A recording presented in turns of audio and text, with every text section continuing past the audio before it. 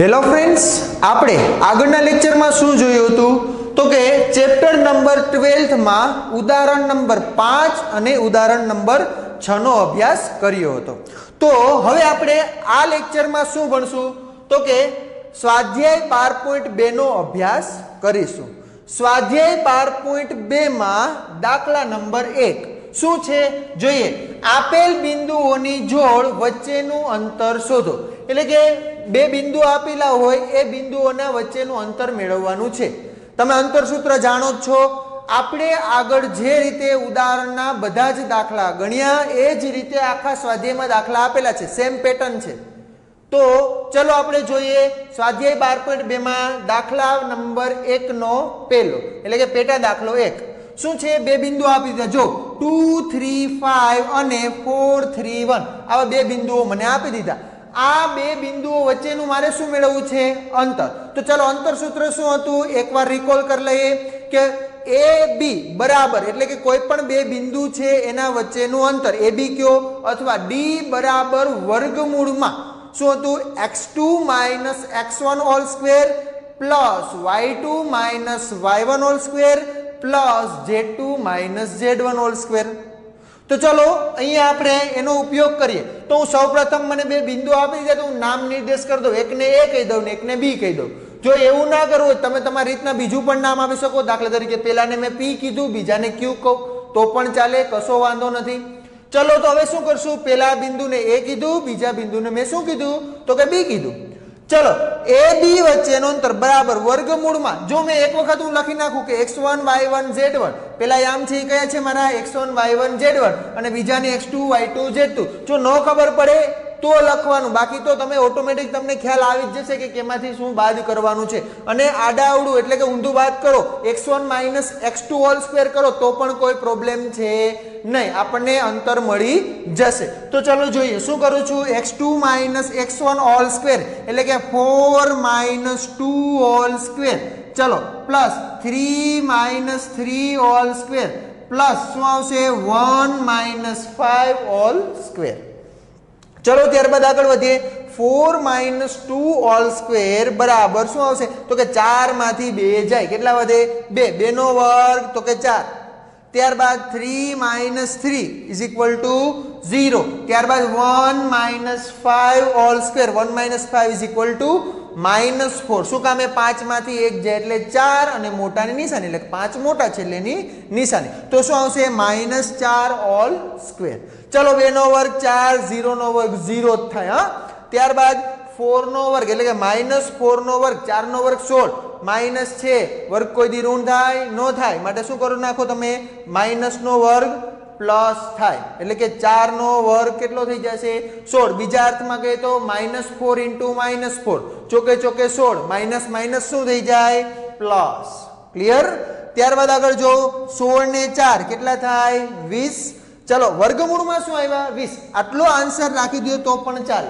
પરંતુ આપણે આગળ થોડું સિમ્પ્લિફિકેશન આપીએ. તો શું કરશું? તો કે આપણે જાણીએ પૂર્ણવર્ગ સંખ્યા બનાવો. કે આને કંઈ ગુણીએ તો પૂર્ણવર્ગ સંખ્યા મળે? તો કે હા, મળશે. કઈ? તો કે પાંચ ચોકને વીસ. ચાર છે એ કેવી છે? પૂર્ણવર્ગ એટલે કે ચાર છે એનું વર્ગમૂળ નીકળી શકે. તો ચારનું વર્ગમૂળ કેટલું નીકળે? તો કે બે.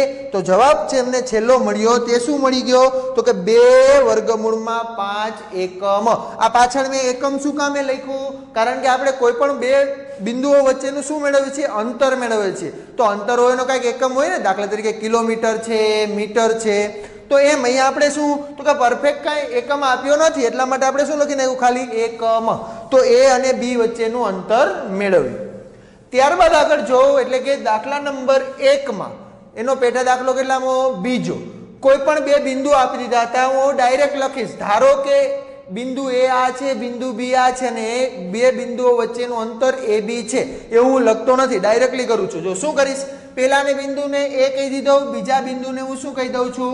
બી એ બંને વચ્ચેનું અંતર એટલે હું શું કહું છું? એ બી એ બી બરાબર વર્ગમૂળમાં. ચલો x two minus x one all square તો લખવું હોય તો લખી શકો કે આ તમારું બિંદુ કયું છે? એક્સ વન છે, આ વાય વન છે, આ ઝેડ વન છે. ક્લિયર ત્યારબાદ આને તમે શું કહી શકો? તો કે આ તમારું બિંદુ એક્સ ટુ છે. આ બિંદુ વાય ટુ છે ને આ બિંદુ કયું છે? ઝેડ ટુ છે. તમે આવી રીતના લખી શકો, જો ન ખબર પડે ચલો, શું આવશે? તો કે ટુ માઇનસ માઇનસ પ્લસ. એટલે કેટલા થઈ ગયા? Three.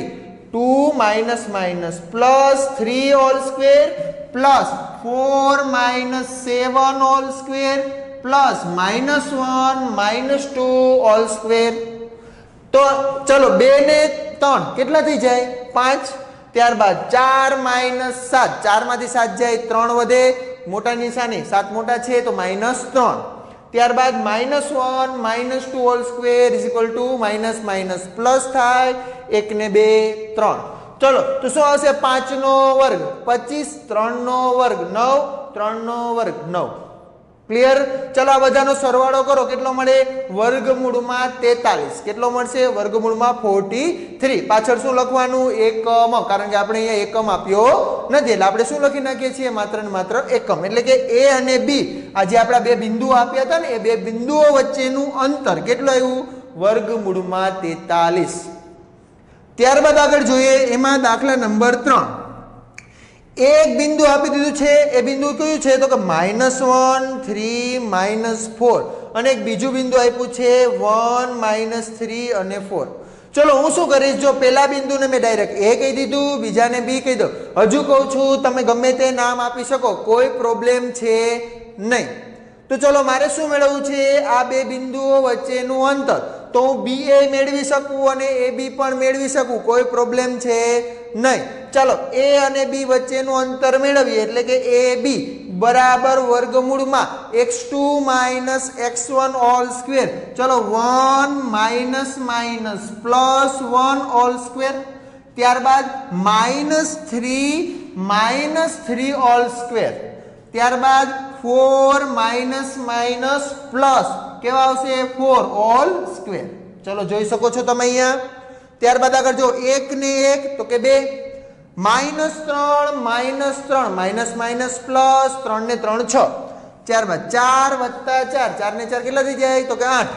ચલો, બે નો વર્ગ, ચાર, છ નો વર્ગ, છત્રીસ, આઠ નો વર્ગ, ચોસઠ. તો ત્યારબાદ આ બધાનો સરવાળો કરો. છત્રીસ ને ચાર, ચાલીસ ચાલીસ ને ચોસાઠ, કેટલા થાય? એકસો ને ચાર. તો આપણને શું મળ્યું? વર્ગમૂળમાં એકસો ચાર. ચલો, એકસો ચાર છે એને ચાર વડે ભાગી શકાશે. આપણે જાણીએ જ છીએ કે છવ્વીસ ગુણ્યા ચાર થાય. અથવા ચારની ચાવી યાદ કરી લેવાની. ચારની ચાવી શું હતી? તો કે છેલ્લા બે અંકને ચાર વડે ભાગી શકાતું હોય, તો આખી સંખ્યા એટલે કે ગમે તેવડી સંખ્યા આપી દીધી હોય. એકમનો અંક અને દસ અંકના અંક. બે અંક લેવાને અને ચાર વડે ભાગી શકાય. તો આખે આખી સંખ્યાને કેટલી વડે ભાગી શકો તમે? ચાર વડે ભાગી શકો. તો ચલો જીરો ચાર ચાર ને ચાર વડે ભાગી શકાય? હા, તો એકસો ચાર ને પણ તમે કેટલા વડે ભાગી શકશો? ચાર વડે ભાગી શકો. તો શું આવી ગયું? તો કે ચાર વડે ભાગો તો છવ્વીસ ગુણ્યા કેટલા મળ્યા? ચાર ચાર છે પૂર્ણ વર્ગ સંખ્યા છે, બાર નીકળે તો કેટલા આવે? બે. ચારનું વર્ગમૂળ કેટલું નીકળે? બે. વર્ગમૂળમાં કેટલા વધ્યા? છવ્વીસ. હવે જો છવ્વીસ છે એ પૂર્ણવર્ગ સંખ્યા નથી, એટલે કે હું શું કરી શકું? એના ભાગ પાડીને બાર કંઈ કાઢી નથી શકતો. કારણ કે તેર દુ છવ્વીસ થાય. આપણે જાણીએ, તો બેનું વર્ગમૂળ ના નીકળે, તેરનું વર્ગમૂળ ના નીકળે. ક્લિયર તો બંને શું આપણા માટે? એટલે કે એમનામ રહેવા દો શું રહેવા દેશું વર્ગમૂળમાં છવ્વીસ. તો આપણને એ બી બરાબર મળ્યું. શું? ટુ વર્ગમૂળમાં છવ્વીસ એકમ. એ શું મળ્યું? તો કે આપેલા બે બિંદુઓ વચ્ચેનું અંતર મળી ગયું. ત્યારબાદ આગળ જો, એટલે કે દાખલા નંબર એકનો પેટા દાખલો ચોથો. અહીંયા પણ શું મેળવવાનું છે? તમને માત્ર ને માત્ર બે બિંદુ આપ્યા છે. એ બે બિંદુ વચ્ચેનું અંતર મેળવવાનું છે. તો આ બે બિંદુ વચ્ચેનું અંતર મેળવવું હોય તો આપણે સૂત્ર જાણીએ કે અંતર સૂત્રનો ઉપયોગ કરવાનો છે. અંતર સૂત્ર શું હતું આપણા પાસે? લઈ લ્યો. અંતરસૂત્રના આધારે દાખલો ગણો. ચલો, ગણીએ. શું આવશે? તો કે પહેલાંને હું પી અને ક્યુ કહી દઉં. સાહેબ, બધાય દાખલામાં તમે એ બી એ બી લીધા. તો અહીંયા કંઈક અલગ લઈ લ્યો. તો હું અલગ નામ આપી દઉં. પી અને ક્યુ તો ચલો મેં પી ક્યુ એટલે કે પી અને ક્યુ વચ્ચેનું અંતર. બરાબર. શું આવશે? તો કે x two minus x one whole square અથવા આમ પણ કરી શકો. કોઈ પ્રોબ્લેમ નથી. જો, જોઈ લ્યો એકવાર. શું આવશે? Minus two minus two whole square લીધું ને? તો માઇનસ માઇનસ પ્લસ થાય. માઇનસ ચારનો વર્ગ કેટલો થઈ જાય? સોળ થઈ જાય. તમે જાણો ને? જો માત્ર પહેલું સ્ટેપ જ જોઉં છું. અહીં સોળ આવ્યો મને જવાબ. હવે હું ઊંધું કરું. તો કે ટુ માઇનસ માઇનસ શું થઈ જાય? પ્લસ ને? તો બે ને બે કેટલા થયા? ચાર. ચારનો વર્ગ કેટલો થાય? સોળ. જો બંને જવાબ સરખા જ આવે. કોઈ પ્રોબ્લેમ પડે નહીં. એટલે કે પી થી ક્યુ નું અંતર મેળવો કે ક્યુ થી પી નું અંતર મેળવો? અંતરમાં કોઈ પ્રોબ્લેમ અંતર ક્યારેય ઋણ હોતું નથી. જે આપણે જાણીએ જ છીએ. ચલો, શું કરશું? તો હવે two minus two minus two whole square plus one minus minus plus one whole square ત્યારબાદ three minus three whole square ચલો, જોવા આગળ, શું આવશે? ચારનો વર્ગ. ચોકે ચોકે કેટલા થઈ જાય? સોળ. ત્યારબાદ બે નો વર્ગ. બે નો વર્ગ આપણે જાણીએ કેટલો છે? ચાર. ત્યારબાદ ઝીરો નો વર્ગ ઝીરો ચલો, સોળ પ્લસ ચાર. કેટલા આવ્યા? સોળ પ્લસ ચાર. સોળ ને ચાર, વીસ. વીસમાં તમે ચાર વડે ભાગી શકો તો કે હા, પાંચ ચોક વીસ.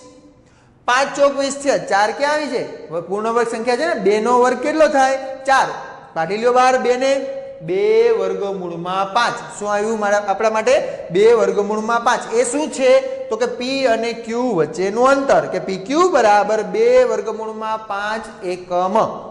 એ આપણને શું મળ્યું? અંતર. માત્ર ને માત્ર અંતર સૂત્રનો જ ઉપયોગ છે. કયું બિંદુનું કિંમત ક્યાં મૂકવી? એટલું આવડવું જોઈએ. સરવાળા બાદબાકી આવડવા જોઈએ. વર્ગ વર્ગમૂળ આવડે એટલે આપણને આ દાખલા આવડે.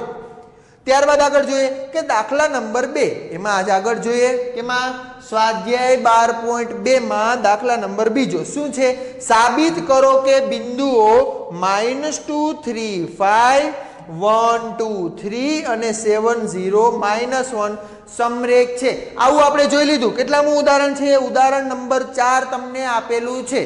કે ઉદાહરણ નંબર ચાર સેમ ટુ સેમ છે. માત્ર અહીંયા શું આપ્યું હતું? આ પી બિંદુ આને કીધું હતું. અને આ બિંદુને શું કીધું હતું? તો કે ક્યુ નામ આપ્યું હતું. આ બિંદુને શું? તો કે આર નામ આપ્યું હતું. તો આ બેઠે બેઠું ઉદાહરણ નંબર ચાર છે. તો તે તમે જાતે ગણજો. શું? અને પી ક્યુ અને આર નામ આપી દેજો. હવે સમરેખ બતાવવાનું છે તો આપણે ખબર કે કોઈ પણ બે બિંદુઓ લઈ લે, એના વચ્ચેના અંતર, એટલે કે પીક્યુ નું અંતર મેળવો ક્યુઆરનું અંતર મેળવો અને પીઆરનું અંતર મેળવો. કોઈ પણ બેના અંતરનો સરવાળો ત્રીજા જેટલું થતું હોય તો તે ત્રણેય બિંદુઓ કેવા કહેવાય? સમરેખ કહેવાય. એટલે કે એક જ રેખા પર આવેલા બિંદુઓ કહી શકાય.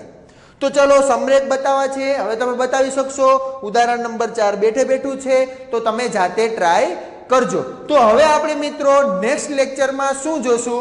તો કે આગળ સ્વાધ્યાય બાર પોઈન્ટ બેમાં દાખલા નંબર ત્રણનો અભ્યાસ કરીશું.